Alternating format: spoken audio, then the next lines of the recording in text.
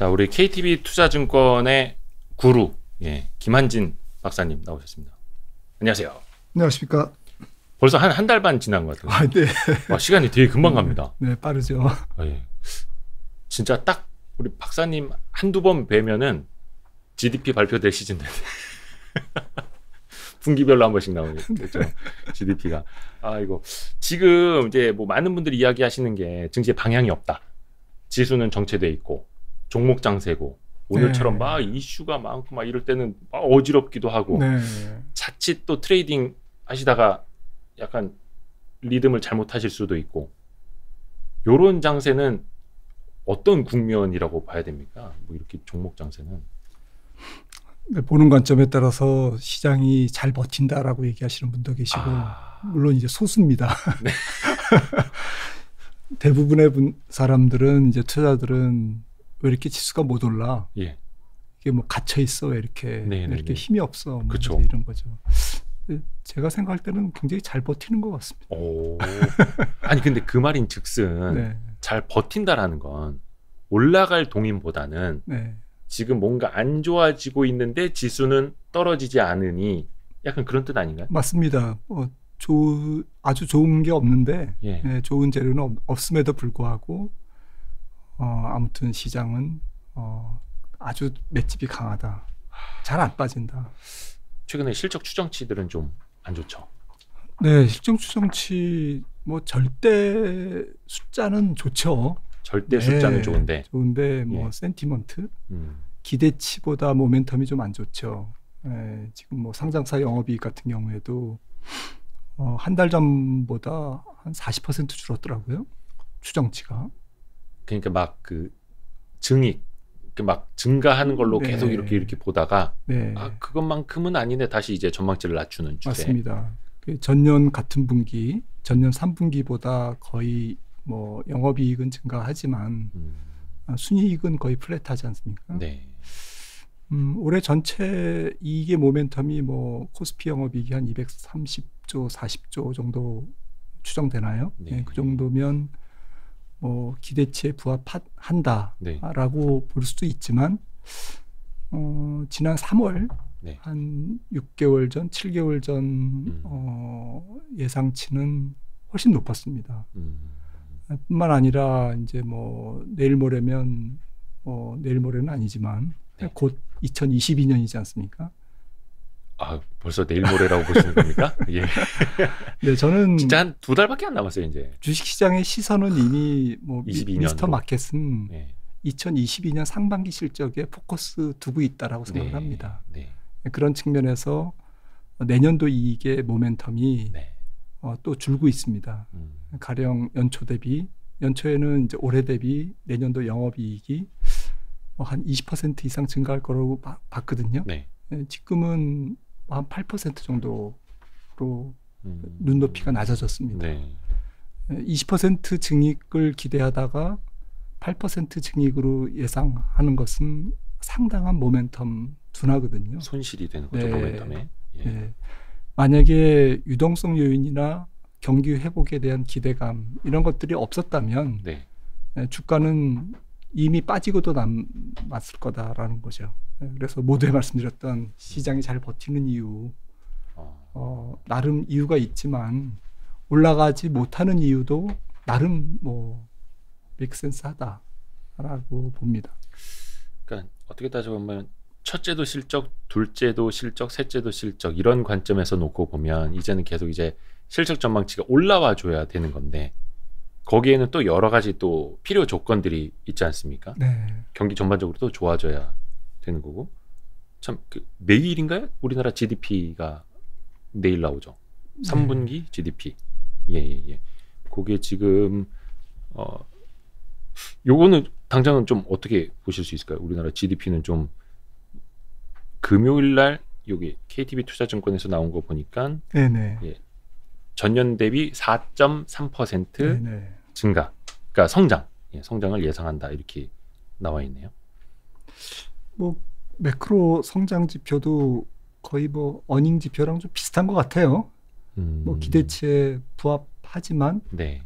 어, 당초의 예상치보다는 뭐 조금 차분한 아, 네, 그런 톤으로 지금 나타나고 있습니다. 뭐 음. GDP뿐만 아니라 모든 경제 지표가 지금 그렇죠. 음. 뭐 물론 이거는 지금 주가에는 다 이제 반영이 돼 있는 뭐 과거 네. 데이터니까 어, 올해는 한 4%, 그러니까 한국은행에서도 전망을 하는 게 한 4% 정도인데 네. 요 정도 루트라면은 4분기까지 감안을 했을 때 한 전년 대비 4% 성장 정도는 가능할 거라고 보시는 거고요. 그렇죠. 그것 또한 증시에는 4분기 것까지도 GDP 역시 좀 반영이 돼 있을까요?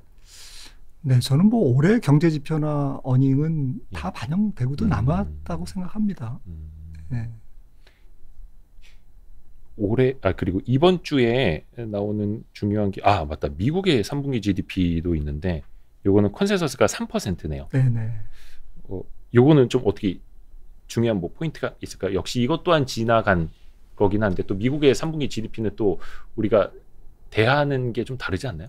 미국의 GDP는 아무리 지난 거라고 해도 그 제가 지난번에 무슨 제레미 시겔 교수가 쓴 책을 보니까 네, 어, GDP 성장률과 주가의 관계가 굉장히 높습니다. 음, 네, 상관관계가 높은데 어쩔 수 없죠.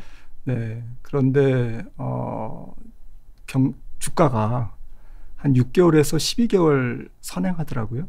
음, 근데 우리가 GDP 전망, GDP 확정치를 알 수 있는 것은 네, 어, 또 분기가 조- 조금 지나야 한 달 반은 지나야죠. 네, 예. 확정치를 알 수 있지 않습니까? 네, 네, 그러니까 거의 뭐 주가가 네, 우리가 보는 GDP에 1년 정도 선행해 있다라는 것이죠. 음, 그러니까 그렇죠. 저는 뭐 GDP 이런 것들이 굉장히 중요합니다만 네, 다음 분기 혹은 내년 경제 성장을 전망하는 어떤 뭐 힌트로서 음, 어, 참고하는 것은 맞지만 네, 어, 센티먼트 측면에서는 주가에 그렇게 큰 음.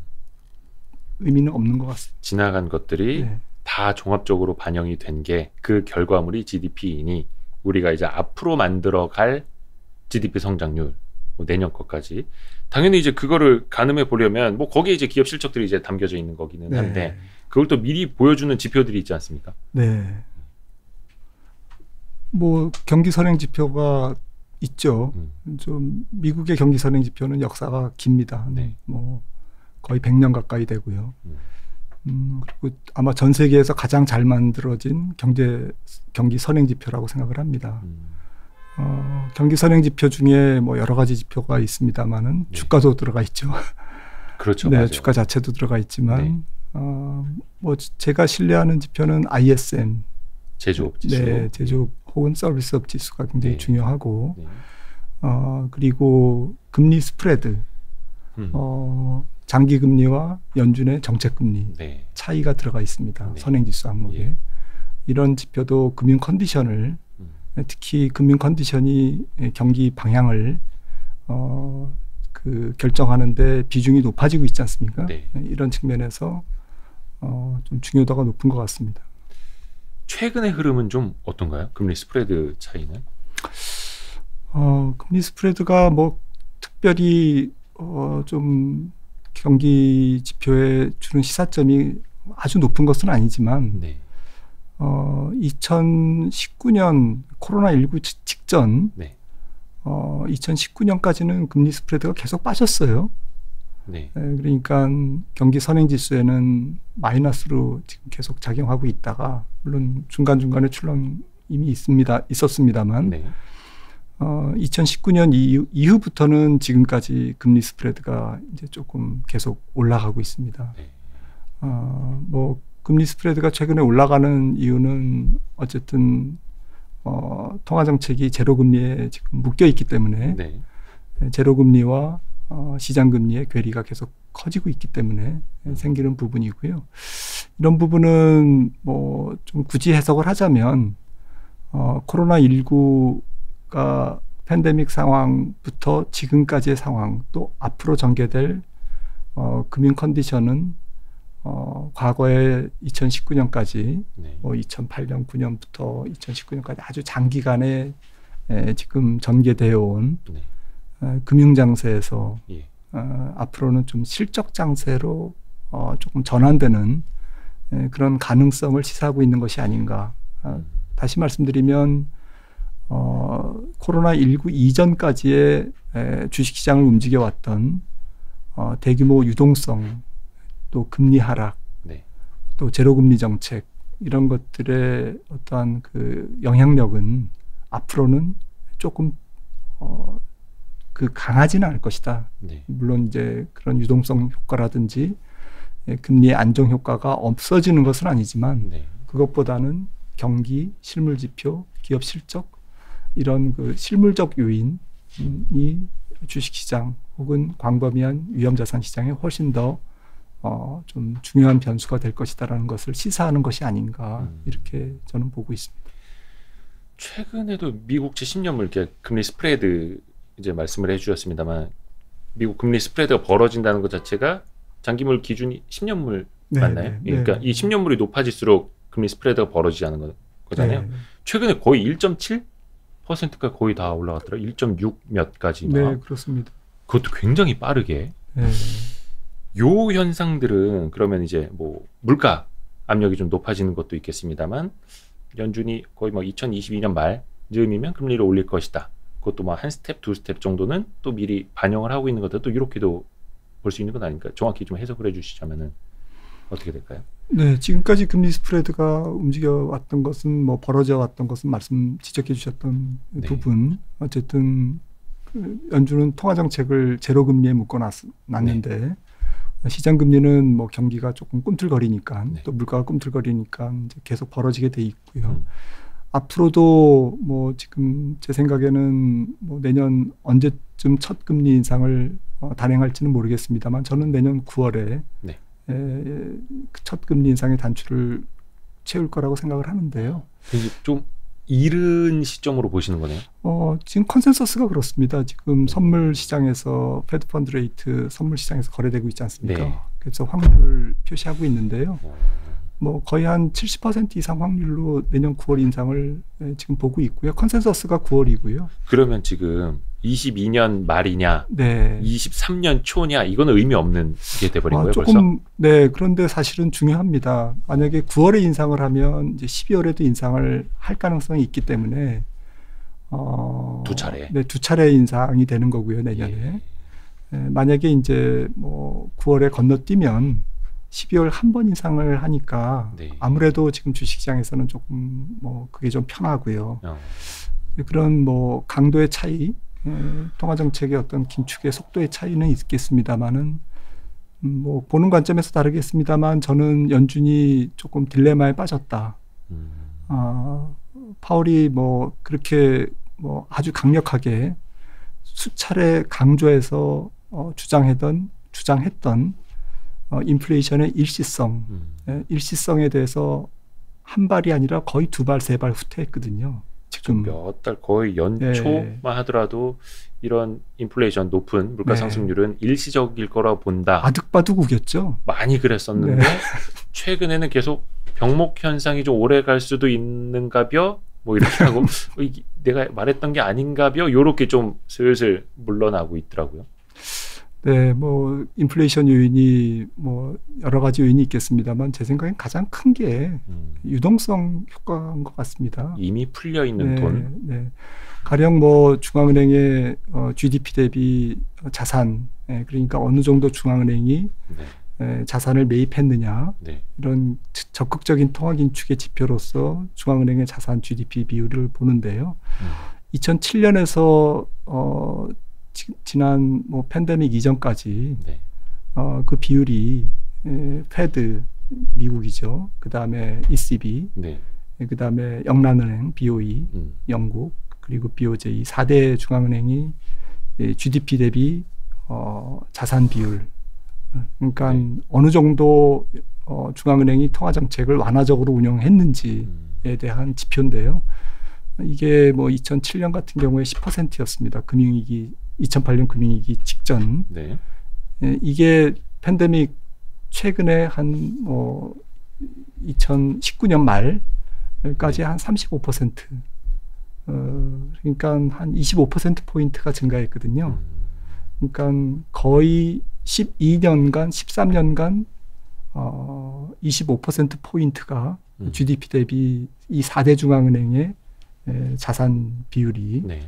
에, 증가했는데 그 자산이 증가했다라는 거는 뭐 국채든 뭐든 사들여서 네, 유동성을 사- 풀어줬다는. 네, 네, 유동성을 뜻이네요. 반대로 풀어준 거죠. 예.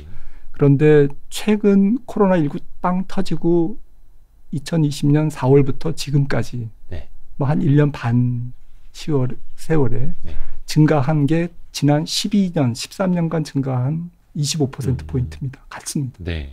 그러니까 아. 최근 1년 반 사이에 풀린 규모 그 정도의 유동성이 네. 지난 12년간 풀린 유동성과 거의 비슷하다라면 예. 얼만큼 글로벌 중앙은행들이 네. 주로 기축통화국이죠. 네. 달러를 찍어댔느냐, 음. 아, 자산을 매입했느냐라는 부분이 좀 실감이 나죠. 에, 이 부분이 저는 인플레이션이라는 비용으로 음. 에, 지금 인류를 에, 조금 성가시게 만들고 있다라고 생각을 합니다. 그 그만큼 뚝에다가 물을 퍼 넣었는데 네. 뚝에 물이 안 차오르는 것도 이상하고 그렇죠. 돈을 푼 만큼 언젠가 이제 인플레라는 게 부메랑으로 이제 돌아올 수밖에 없는 건데 거기에다가 또 이제 병목 현상, 맞습니다. 그다음에 운임료 상승, 네, 원자재 가격들 상승 네. 같이 이제 막 네, 코로나의 특수성이죠. 네, 지금 여러 가지 뭐 조금 경기가 안 좋아서 사람을 잘랐는데 음, 어, 갑자기 이제 경기가 또 회복되니까 화물을 뭐 나른 운송할 인력이 없고. 부족하고 하역할 사람이 없- 부족하고 이렇게 해서 지금 어, LA 항이 지금 거의 마비 상태이지 않습니까? 맞습니다. 그게 어, LA에 있는 그 무슨 항이죠? 그 항뿐만이 아니라 롱, 롱비치인가요? 아, 롱비치. 네, 네, 그죠 항뿐만이 아니라 다른 데들도 거의 다 비슷한 그렇습니다. 아뭐 영국에서는 아, 영국이 맞나? 아, 영국 아니다. 스페인인가요? 호날두 선수가 자기 친구인지 매니저인지 누구랑 그 슈퍼카를 몇 대씩 끌고 가서 이제 막 기름 넣으려는 그런 사진이 돌고 있다 고 그러더라고요. 참 별 상황들이 다 네. 펼쳐지고 있는데 이게 결국은 풀리려면 코로나 상황이 완화가 돼야 하는 거고 그렇죠? 그거는 거의 뭐 필요 조건일 테고 그렇게 되면은 지금 인플레이션을 많이 일으키고 있는 요인 유동성과 병목 현상 중에서는 하나는 그래도 좀 풀어갈 수 있는 네. 거잖아요. 또 그렇지만 반대로 경기가 풀리면 서비스업 가격이 또 올라가겠죠. 아 네. 수요가 많아지니까 네, 그리고 어, 실질 GDP가 잠재 GDP에 음, 예, 근접하면서 음, 어, 일부는 뭐 실질 성장률이 잠재 성장률을 이제 아. 넘어가면서 그런 경기가 또 과열된다. 어, 예, 여서, 여러 요소 가격의 어떤 tightening 네. 수급이 타이트해지겠죠. 임금을 비롯해서 원자재 수요도 늘고 예, 수요 네. 견인 인플레이션이 좀 기다리고 있습니다. 예, 그리고 말씀드렸듯이 지금까지는 그래도 재화 중심으로 물가가 올라갔는데 어, reopening 경제로 가면 이제 여러 가지 서비스업 물가가 이제 올라가겠죠. 음, 예, 이제 이런 부분들이 어, 또 하나가 풀리면 또 하나가 또 다시 물가 pressure를 더 압박하고요. 음, 네, 그래서 물가는 좀 쉽게 떨어지지는 않을 것 같습니다.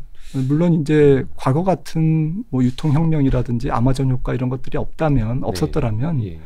어, 지금 물가는 하이퍼 인플레이션으로 가죠. 네, 그런 게 오히려. 있기 때문에 생산성 혁신이라든지 음, 에, 그나마 에, 물가가 에, 그렇게 이제 하이퍼 인플레이션이 아닌 에, 조금 다소 높은 음, 물가 수준을 유지하는 정도로 아- 아마 2022년이 상황을 에, 맞을, 맞이할 것 같습니다.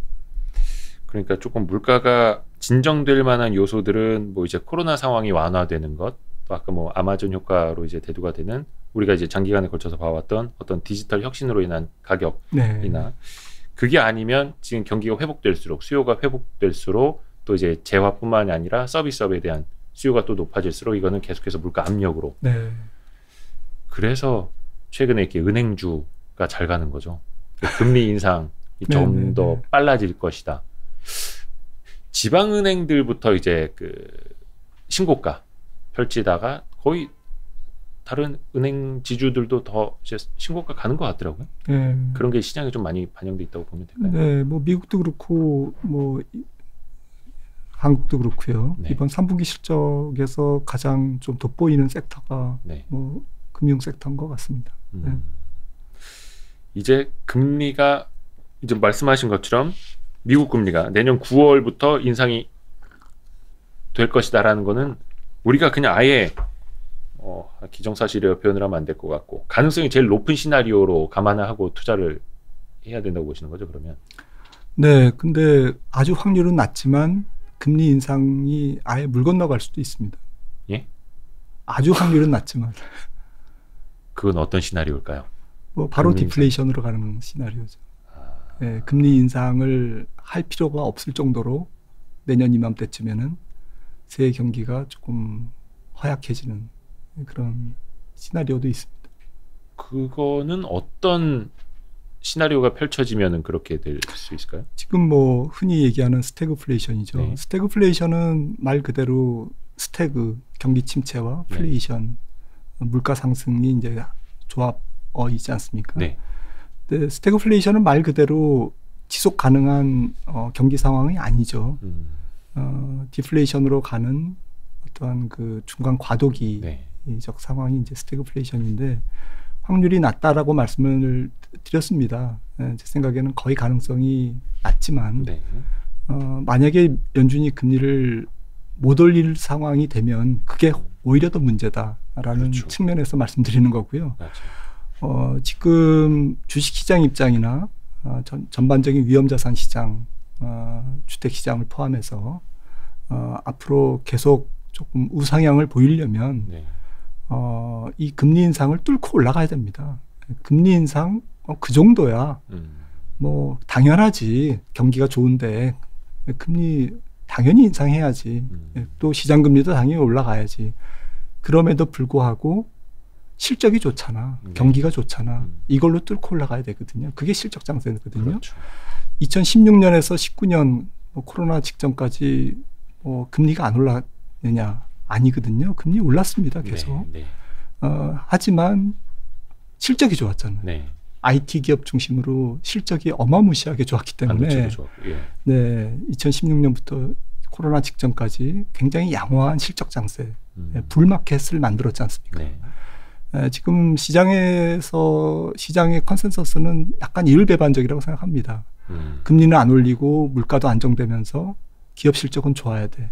골디락스. 네, 경기도 좋아야 돼. 네. 에, 그거는 마술적인 이런 컨디션 굉장히 조, 아주 최적의 조합. 음. 물론 이제 불가능한 건 아니지만 아, 지금 뭐 모두의 뭐 지금 앵커님께서 음. 그 실적 분기 실적도 이제 그 저희가 말씀을 나눴습니다만 네. 어, 지금 주식시장이 좀 교착 상태에 있는 이유는 음. 사실은 어, 지금 3분기 실적 또 예상되는 4분기 실적 크게 봤을 때 2021년 올해 실적에 음. 감동이 없기 때문에 예, 박스권에 갇혀 있는 거지 않습니까? 감동이 없다. 네. 꿈에 기울기가 없는 거죠. 아. 2022년도에도 만약에 지금 예상되는 네. 영업이익 코스피 상장 기업 영업이익 250조 남짓, 음. 255조 이 정도에 머문, 머문다면 음. 어, 제 생각에는 박스권입니다. 잘해야 내년도 잘해야 내년도 박스권. 장, 장- 장세는 270조, 80조, 300조가 나와야 되거든요. 네. 예, 그래야 물가 상승과 이- 인플레이션, 금리 인상, 또 시장 금리 상승에도 불구하고 어, 시장이 어, 중력을 이기고 네. 올라가죠. 올라갈 수 있죠. 감동이 없다. 꿈의 기울기가 가팔라야 하는데 예. 그게 지금은 아닌 장세다. 잘해야 네. 지금과 같은 상황이라면 내년에도 잘해야 박스권이다. 네. 어, 이거 너무 와닿는데요. 음, 그러니까 지금 당장 3분기 어닝 시즌에 한복판에 있습니다만 3분기 실적 나서 어, 컨센보다 좋아. 그래도 주가가 안 움직이는 것들이 네. 굉장히 많잖아요. 맞습니다. 지금. 오케이 지나간 3분기는 좋은 거 알겠어. 아까 이제 GDP 네. 지나간 거 말씀해 주셨듯이. 그러니까 참 내년이 걱정이기는 한데 이게 뭐 물론 이제 아까 디플레 인플레 이야기를 하셨습니다만 디플레가 좋냐 인플레가 좋냐 그럼 99.99%는 인플레를 택하지 않습니까? 디플레이션은 내일이 오늘보다 못 살게 된다라는 뜻일 테니까 그래서 네, 네. 금리를 올리더라도 좋은 인플레 경제가 성장하는 인플레로 가야 되는데 이제 그게 곧 이제 기업들의 실적으로 나타날 테고 맞습니다. 근데 이제 그게 안 좋은 장세에서 우리가 음, 뭐 그렇다고 해서 주식 투자자들이 다 뭐 채권하러 갈 거는 아니고. 지금 부동산도 다 먹고. 뭐 물론 해외 주식이라는 또 선택지는 있습니다만. 뭔가를 이제 대안을 찾아야 되잖아요 사람은. 특히 이제 박사님 이제 특히나 자산 배분 쪽에 특화돼 있으시니까. 저는 되게 고민이 드는 게 그래서 그런지 그 말씀하신 꿈의 기울기가 살아있는 메타버스 뭐 게임 네. 2차 전지 계속 이쪽으로 몰려가는 건가 라는 되게 좀 생각이 들거든요. 뭐 조금 긴 호흡으로 봤을 때는 어, 내년도 경기 확장이 경기 회복이 어, 좋은 경기가 어, 좀 전개될 거라고 사람들이 많이 기대하지 않습니까? 음, 그런데 그 경기에서 그 경기 세계 경기 어, 생산, 소비, 수출 또 어느 나라는 수입이 되겠죠. 네. 교육 예, 그리고 어, 기업 설비 투자 네. 아, 누가 주도하느냐, 어떤 산업이 주도, 주도하느냐라고 생각을 해보면 음, 제 생각에는 혁신 성장 기업 혹은 어, 그동안 코로나 19 이전에 계속 부- 그 사람들이 어, 좀 입에서 회자됐던 네. 혁신 성장 기업, IT 기업, 뭐, 뭐 쉽게 말씀드려서 빵류의 주식이었죠. 네. 그런 기업들이 앞으로도 어, 생산 소비 투자를 주도해 갈 것 같아요. 음, 뭐 바이오를 포함해서요. 바이오 헬스케어를 포함해서 어, 이런 기업들이 꿈의 기울기가 있고 그런 기업들이 내년도 전체적으로 어닝을 끌고 가는 업종이 될 가능성이 있다. 음, 에, 좀 재화보다는 서비스 혹은 재화와 서비스를 연결하는 컨텐츠나 부품 소비 어떤 그 어떤 알고리즘을 만드는 음, 어, 여러 가지 뭐 소프트웨어라든지 음, 어, 이런 쪽에서 좀 성장성이 돋보일 것 같고요. 음. 이런 부분들이 기업들이 대부분은 지금 PER이 높습니다. 그렇죠. 예, 물론 이제 뭐 FAANG 중에도 뭐 PER이 좀 낮은 기업들도 더러 보입니다만은 어, 네. 대체적으로는 이런 꿈, 꿈을 가진 기업들이 PER이 높지 않습니까? 그렇죠. 예, 예. PBR도 높고. 네. 그래서 지금 이런 주가들이 좀 주도주가 네. 형성이 안 되고 있다고 좀 생각을 합니다.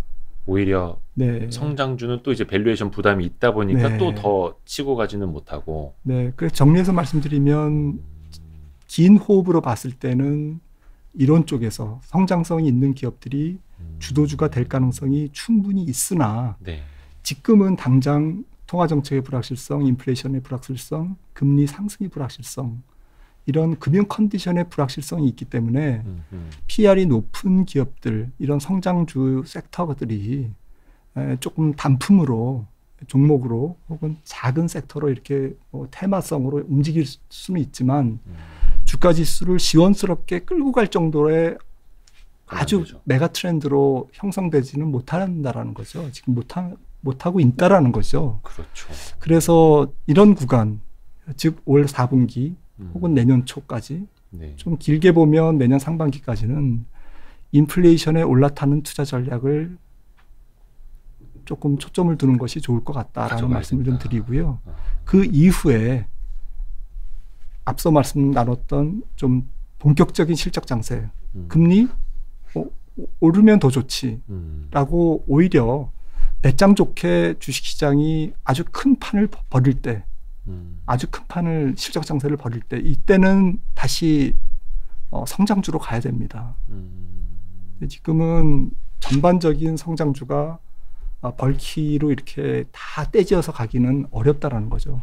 그 그러니까 금리 올려도 좋다라는 배짱 좋게 실적 장세 네, 큰 판이 벌어질 때 성장주라는 거는 이제 실적이 나오는 성장주 네 그렇습니다. 거죠. 그러니까 왜냐면 헷갈리시는 게 실적 안 나오는 성장주로 헷갈리시 네, 그러니까 네, 꿈만 네. 있는 꿈의 네. 기울기만 이렇게 네, 이것도 아니고 이렇게 돼 있는 네, 그 헷갈리실까 봐 그래서 실적이 나오는 성장주 네. 여기서 제가 박사님한테 하나 좀 먼저 여쭙고 다음 스텝으로 넘어가고 싶은 게 네. 뭐냐면요 아까 이제 FAANG 이야기해 주셨고 어, 인터넷 기업들 뭐 네. 게임주 특히 이제 뭐 메타버스도 될 수 있겠고 정말 이제 고PER 네. 주들 이게 우리가 작년에 많이 들었던 게 금리가 낮을 때 금리가 떨어질 때 제로 금리일 때는 성장주를 사야 된다 네. 미래 가치를 땡겨오는 거기 때문에 훨씬 네. 더 유리하다라는 이야기 많이 하- 했잖아요 사람들이 그러면 아니 그러면 금리 인상 시기가 가깝다는데 그럼 성장주들이 제일 먼저 꺾여야 되는 거 아니야 인터넷 메타버스 이런 게 먼저 꺾여야 되는 거 아니야? 근데 그런 놈들이 또 제일 강하단 말이죠. 네.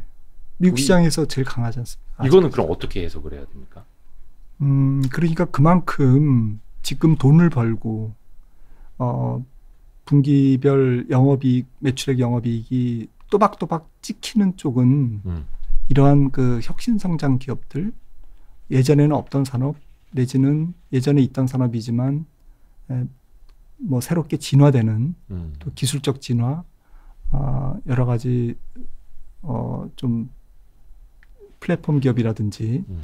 어, 이런 그 혁신적으로 뭔가 미래를 개척할 가능성이 높은 기업들이 네. 지금 돈을 벌고 있다라는 거죠. 아. 그 혁신성을 갖춘 성장 기업들이 네, 돈을 벌기 시작했고 네, 돈도 또 그런 기업들에 몰리고 있고 네. 그렇습니다. 그러니까 걔네들이 그런 기업들 중심으로 캐파를 늘리고 돈을 몰, 돈이 몰리니까요. 음. 네, 그리고 어, 싼 자기 자본을 조달해서 음. 주식시장에서 어, 새로운 더 지배적인 음. 입지를 더 구축하고 데이터 센터를 더 진다든지 네. 뭐 유통망을 구축한다든지 또 R&D를 더 확대한다든지 음. 이런 식으로 더 시장 지배적인 입장을 강화시키는 기업들 음. 예, 이런 기업들 뭐 전체적 산업 전체적으로 보면 어, 산업의 그 편차가 불균형이 더 심해지고 있지 않습니까? 예, 그래서 지금 K자 경기 회복 이런 얘기를 하- 하고 있는데요. 이 K자 경기 회복의 상단의 K- 그 우상향의 K를 타는 음. 그런 기업들이 중장기적으로는 계속 주도주고 네. 어, 이쪽에서 크게 벗어나지 못할 거라는 거죠 시장이. 음. 설사 그게 바뀔지언정 네. 근데 지금은 네. 이제 그런 종목들이 되기에는 다 그 때로 네. 군집을 이뤄서 그런 종목들이 지수를 끌고 가기에는 아. 지금 금융 그- 컨디션 그죠. 앞서 말씀드린. 금융 컨디션 네. 측면에서 불확실성이 예, 조금 높은 상황이 아닌가 음. 예, 지금 연말 연초까지는 이렇게 생각을 하고 있습니다. 우리 또 이야기 나누는 중에 김병기님 감사합니다. 또 김병기님이 항상 이렇게 크게 응원을 해주셔가지고 감사합니다. 예. 음, 시장 지배적 입지를 갖고 있고 또 뭔가 혁신, IT 혁신을 통해서 성장을 보여주고 있는 기업들이 돈을 버는 모습까지 보여주니 그것도 막 1등으로 달려가면서 그러니 투자자들의 돈도 거기에 몰릴 수밖에 없고 이거는 단순히 저금리, 단순히 제로금리 상황에서 유동성의 혜택만 보던 그런 성장주의 개념이 아니라 예, 게임 체인저가 됐고 1등 주식 그런 개념에서 어, 성장주를 생각을 해야겠네요. 어, 우리나라에서는 대표적인 게 혁신 산업이기도 한데 실적까지 내고 있는 막 2차 전지 막 이렇게 될 수도 있을까요? 네, 뭐 밸류에이션은 뭐 잘 조금 모르겠습니다만 어, 자신이 어, 예, 없습니다만 예. 아무튼 뭐 카테고리는 다 나와 있는 것 같습니다. 그 음. 섹터의 뭐 저기 종류는 다 나와 있는 것 같고요. 네. 어, 지금 뭐 2차 전지 말씀하셨지만 반도체, 2차 음. 전지, 5G, 뭐 바이오 헬스케어 이런 쪽의 섹터들이 결국엔 뭐 성장 산업이죠. 음, 예. 네. 그리고 뭐 소비재 쪽에서는 뭐 세계를 무대로 하는 엔터테인먼트라든지 게임이라든지 네. 뭐 소프트웨어 기업들이 뭐 잘 모르겠습니다만 있다면 어, 굉장히 좋을 것 같고요. 음, 예. 근데 우리나라가 이제 이런 그 세계 무대, 예, 세계 글로벌 시장을 대상으로 이렇게 뻗어나갈 수 있는 확장성이 있는 예, 그러한 성장 산업이 조금 제한돼 있지 않습니까? 상대적으로는 뭐 미국이나 네. 에, 이런 기업에 비해서 음.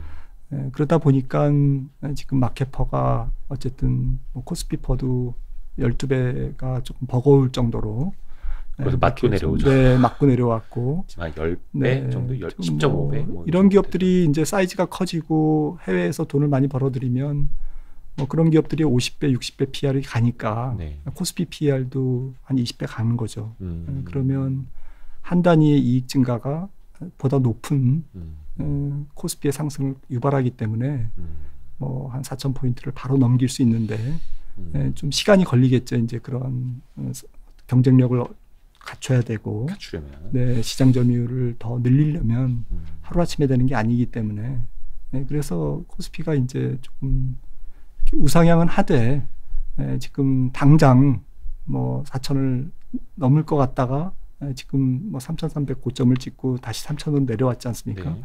세계 증시의 영향도 있지만 코스피 PR의 리레이팅의 어떤 이슈 이런 부분들이 아직은 조금 시간이 필요하다라는 음. 시장의 사인이 아닌가 이렇게 생각을 합니다.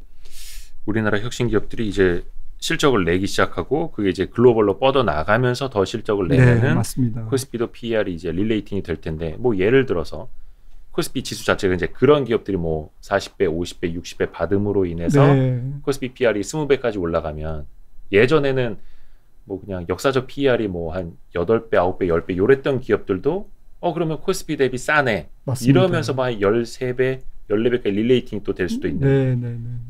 아 그게 선순환인데요. 그렇게 선진국형 주식시장이 되는 거죠.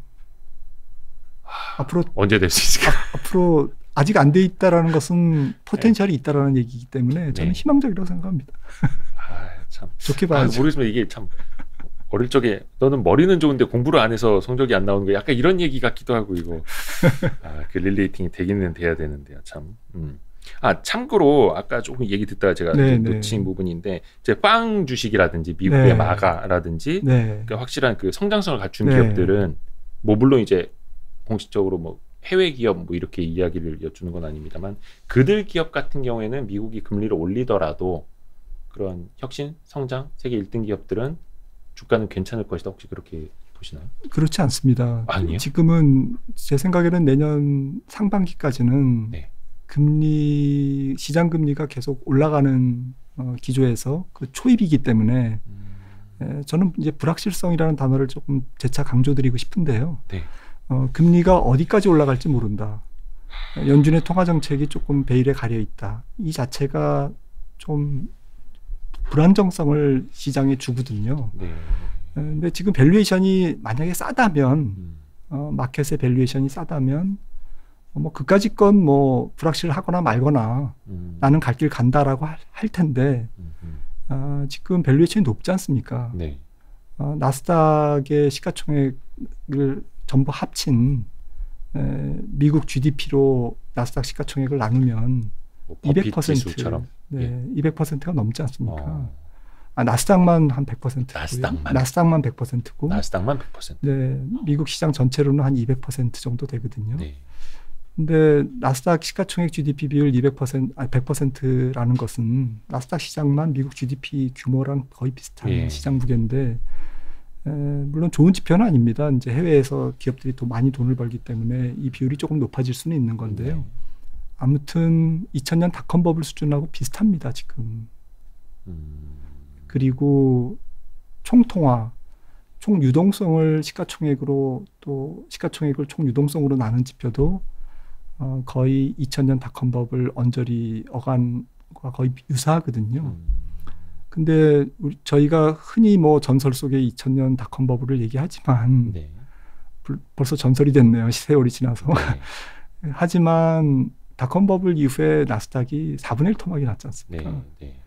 그 4분의 1 토막 나기 전에 고점과 비교하는 겁니다. 어, 어. 그러니까 valuation이 굉장히 높은 거죠, 지금. 아, 그러니까 지수가 아니라 valuation으로 봤을 때. 네. 네. 뭐 지수도 마찬가지입니다. 음. 그래서 음, 무슨 말씀을 드리려고 하냐면 어쨌든 미국 성장주, 네. 어, IT 기업 중심의 성장주 시장인 나스닥 시장이 어, 싼 맛은 없다라는 거죠. 아, 네. 싼 맛은 없다. 버블인지 아닌지는 잘 모르겠다. 네. 앞으로 계속 돈을 벌면 버블이 아니고요. 음. 어, 조금 삐끗하면 약간 버블 되고 될 수 있고 음.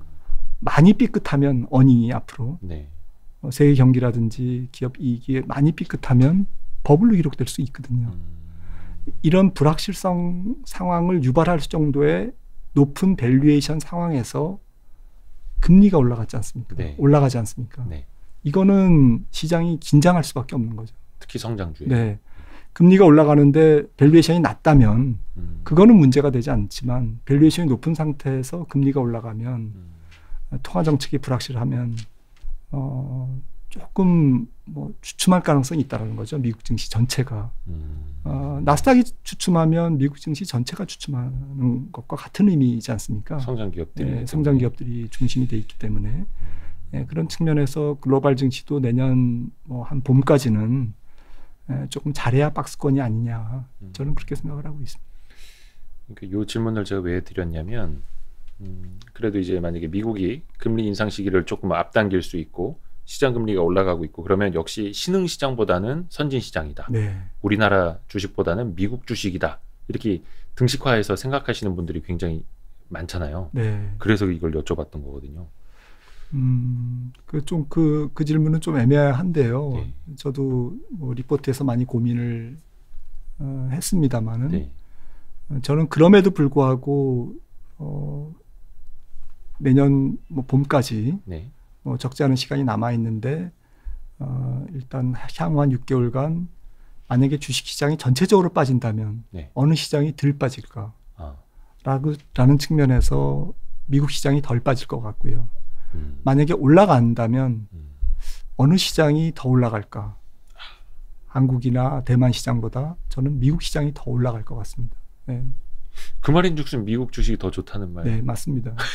올라가거나 떨어지거나 미국 주식이 더 좋을 수, 밖- 좋을 아. 가능성이 높다. 아. 그 이유 중에 하나는 네. 달러가 내년 초까지는 조금 강세 혹은 강보합 기조를 유지할 가능성이 높기 때문에 저는 그렇다고 봅니다. 음. 전체적으로 fund flow가 emerging 신흥국 쪽으로 그렇게 어, 좀 시원스럽게 에, 좀 이렇게 물꼬가 트이지 않을 것 같다라는 말씀을 좀 드리고 싶은 거고요. 음. 어, 전체적으로 어, 유동성이 만약에 위축되는 초기 전체적인 뭐 위축된다라기보다는 유동성 증가율이 조금 주춤하는 다라는 표현이 좀 더 적합할 것 같습니다. 음. 아, 앞서 말씀드린 중앙은행의 에, 총자산의 GDP 비율, 그러니까 어떤 그 금융 완화의 어떤 인- 인덱스로 네. 봤을 때 제가 추정해 보니까 어, 올해를 거쳐서 내년까지는 플랫할 가능성이 높아요. 아. 약간 내려가거나 네. 왜냐하면 GDP가 올라가기 때문에. 음. 그러니까 경제 규모에 비해서 풀린 돈의 어떤 임팩트가 네. 네. 무게 약간 영, 영향력은 네. 과거 뭐 지난 1년 혹은 지난 몇 년간보다는 음. 에, 조금 차분할 차분해질 음. 음. 약해질 가능성이 있다라는 것이 거든요. 네. 네. 어, 그런 상태에서는 조금 달러가 강해 강하게 움직일 가능성이 높습니다. 음. 네, 통화 정책의 불확실성도 있고요. 그렇죠. 그래서 저는 이제 여쭤봤던 게 그냥 금리 올라도 선진국, 금리 올라도 미국 주식으로 거의 뭐 대피하듯이 가는 이게 아니라 그래도 우리 박사님은 조금 어감이 다르긴 합니다. 만약에 같이 빠진다면 미국이 덜 빠질 것이고 같이 오른다면 미국이 더 오를 것이고 네. 약간의 어감 차이는 저는 조금 더 살금살금 가야 된다라는 네. 걸로 조금 읽히는데요. 네, 맞습니다. 그래서 뭐 거듭 장- 강조드리지만 아까 뭐 인플레이션에 조금 올라타자 네. 에, 저희 팀장님이 오늘 보고서도 제목이 뭐 인- 인플레이션을 좀 올라타라 네. 이런 제목으로 리포트를 냈는데요. 음. 내년도 전망을 냈는데 뭐 저도 뭐 당분간은 네. 뭐 연말 뭐 혹은 연초 내년 봄까지는 어 일단 뭐 실적이 찍히는 기업을 사라. 네. 그것도 그냥 많이 찍히는 실적 surprise 기업이 아니면 쉽게 건드리지 말라라고 아. 말씀드리고 싶고 어 그러니까 아마 숫자가 줄 겁니다. 건드려 그 매매할 종목이 굉장히 좀 줄 거고요. 예. 그런 식으로 조금 엄격한 valuation 어떤 earning surprise 잣대를 대면 어, 또 같은 의미가 되겠습니다만 금리 인상과 금리 상승과 아, 물가 상승기에는 아무래도 거기에 그런 매크로 환경에서 이익이 증가할 수밖에 없는 기업들 그게 음. 이제 금융주거든요. 네. 예, 금융주가 좀 유리해 보이고요. 그 다음에 금리가 인상해서 높은 valuation의 주가를 자꾸 끌어내리려고 하는 중력의 법칙이 존재하니 네. 이런 불확실성이 존재하니 어, valuation이 너무 높지 않은 주식을 건드려라. 음. 아, 뭐 일부에서는 뭐 가치주라고 표현을 할 수도 있는 거고요. 네. 그러니까 PER이 뭐 30배, 50배 되는 기업보다는 예. 그건 당장은 조금 약간 접어두고 음. 어, 지금은 뭐 PBR 1배 미만, PER 뭐 10배 미만 종목 쪽에서 숫자 찍히는 종, 종목들 예, 조금 valuation이 겸손한 종목을 건드리자. valuation이 겸손한 종목. 네. 어. 예, 좀 과도한 종목보다는 아, 앞으로 우리 돈 더 많이 벌 거야. 음. 그러니까 우리 PER 한 30배, 40배 돼도 돼. 그게 뭐 아니라 이렇게. 얘기하더라도 아, 어. 어, 자, 됐고 잠깐 그건 내년에 건드리 내년에 네. 살게요. 음. 어, 지금은 당장은 좀 겸손한 valuation을 어, 보유한 종목을 조금 눈여겨 보십시오. 이렇게 어. 말씀 좀 드리고 싶습니다. 막 꿈을 보여주고 네, 뭔가 막 억지 감동을 주려 하는 주식보다는 네, 당장 뭔가 튼튼한 백그라운드가 있는 그게 이제 실적이라는 네. 백을 가진 주식 쪽을 보는 게 더 낫다. 음, 그 제가 화면 띄워놓기는 했는데 이게 오늘자 나온 게 요거네요, 그렇죠? 아, 네, 네. 예, 아이고, 이게 그 바로 참, 찾았습니다. 아유, 요거는 대단하십니다. 저희가 다음 주에 그 박석현 아, 네, 네, 네, 네. 나오면은 그때 이제 조금 더 디테일하게 네, 네. 여쭤봐야 할 텐데 네.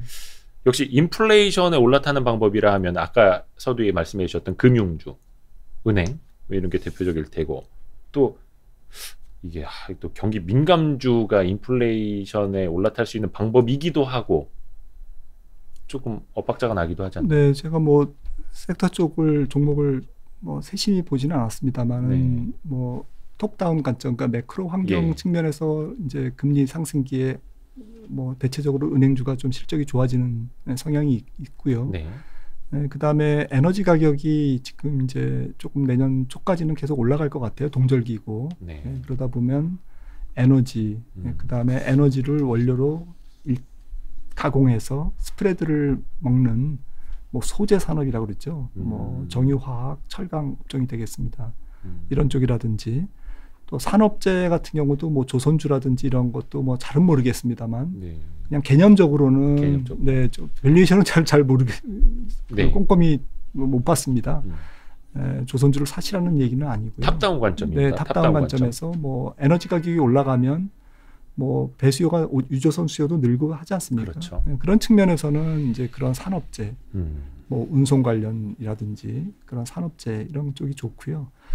어, 조금 이제 세계 경기가 좀 잘 풀린다. 음. 인플레이션도 통제하고 에, 그러면 인플레이션 관련주가 좀 소비재 쪽으로 무게 중심이 옮겨갈 것 같습니다. 음. 그러니까 경기 확장 중후반기의 특징은 어, 판가 상승이거든요. 기업들이 ASP를 올리는데 에, 조금 더 노력을 하지 않습니까? 그렇죠. 가격을 올려서 네. 마진을 더 취하려는. 네, 더 마진을 취하려고 하는 왜냐하면 그래도 사- 팔리니까요. 네. 경기가 좋아서 네. 임금이 늘고 소비자들이 기꺼이 사니까요. 음. 에, 그러면 그, 때는 이제 자동차라든지 에, 조금 더 이렇게 소비재 한 중앙에 중심에 있는 음. 에, 뭐, 뭐 휴대폰이라든지 에, 뭐 랩탑이라든지 이런 것도 좀 고가품이 좀 많이 팔리지 음. 않습니까? 그, 그럴 때 기업들은 신모델을 출시하거든요. 또 네. 어, 그런 쪽에서 이제 좀 소비재 에, 내구 소비재 쪽으로 이제 무게 중심이 옮겨갈 것 같습니다. 음. 다 이제 인플레이션 스토리거든요. 경기 확장, 그렇죠. 인플레이션. 네, 이런 국면에서 처음에는 뭐 에너지, 뭐 금융주 이런 쪽 소극적인 인플레이션 trading을 사람들이 하다가 어, 경기가 이제 조금 뚜렷하게 추세가 잡히고 물가 불확실성이 이제 통제되면 네, 그때는 뭐 조금 이제 적극적인 뭐 소비재 중심의 인플레이션 trading이 일어나겠죠. 음. 그러니까 인플레이션이 이제 지속된다라는 가정하에서 top-down으로 본다면 은행, 에너지, 그다음에 정유랑 철강 같은 소재 산업 그리고 뭐 한 조선 산업 정도까지 네. 요거는 이제 말씀해 주셨습니다만 top-down 관점으로 보실 네, 거고 네, 네. 그 다음에 금리 인상기 또 이제 인플레이션 계속 일어나는 시기라면 그 다음에 요런 산업군 안에서 이제 바텀업으로 기업을 네, 찾아내야 되는 게 맞습니다. 우리 이제 투자자의 몫인 거고요. 그게 이제 완화가 된다면 조금 더 그 인플레이션 스토리가 있는 소비재 네. 쪽으로 방향이 바뀔 수도 있다. 아, 또 명쾌하게 또 이렇게 이야기를 다 해주셔서 너무 감사합니다. 왜냐면 아주 여러 번의 이제 사이클을 다 이제 겪으시고 지금도 현재 진행형에 있으신 우리 김한진 어, 수- 수석 연구위원 이시죠. 아, 네, 그냥 연구원으로 불렀죠. 아이고 또 이렇게 겸손. 우리 김한진 박사님 항상 많이 배웁니다. 그 시간 투자님이 주식도 사람도 겸손해야라고 말씀해 주셨는데 우리 항상 김한진 박사님은 아, 정말 제가 죄송할 정도로 많이 겸손하셔가지고 아이고. 항상 많이 많이 배웁니다. 어 벌써 6시 30분이 지나갔네요. 어, 그러네요. 음, 요 인플레이션 논란에 올라타라라는 자료는 다음번에 저희가 이제 박석현 팀장 그 출연할 때 한번 조금 더 구체적으로 이야기를 들어보도록 하겠고요. 오늘은 이제 top-down 자산 배분 관점에서 금리를 보는 것 그리고 요런 시점에서 우리가 어디로 가야 하는지 들어봤습니다. 아 오늘 썸네일 제목 나왔네. 이제 감동이 없는 시장. 꿈의 기울기 요거 나왔다. 아, 한한 달 반쯤 뒤에 또 한번 뵐 수 있는 거죠. 네, 네, 네. 예, 아유 너무 감사. 불러주십시오. 예, 너무 감사합니다. 네, 네. 오늘 예 함께 봐주신 여러분 그 퇴근길 예 조심히 들어가시고요. 우리 김한진 박사님과 같이 인사드릴까요? 예. 고맙습니다, 여러분. 안녕히 들어가세요. 네, 고맙습니다. 감사합니다. 수고하셨습니다.